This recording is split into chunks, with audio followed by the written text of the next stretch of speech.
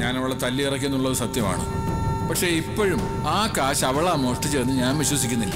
ഈ കൂട്ടത്തിൽ ആരെങ്കിലുമൊക്കെ അവൾക്കെതിരെ മൊഴി കൊടുക്കാൻ വരും. മാറ്റി പറഞ്ഞ സത്യം പറയിപ്പിക്കാനും എനിക്കറിയാം. ആർക്കു വേണ്ടിയായിരുന്നു കൗസ്തുഭത്തിന്ന് ആ കുറ്റം നീ ഏറ്റെടുത്തത്?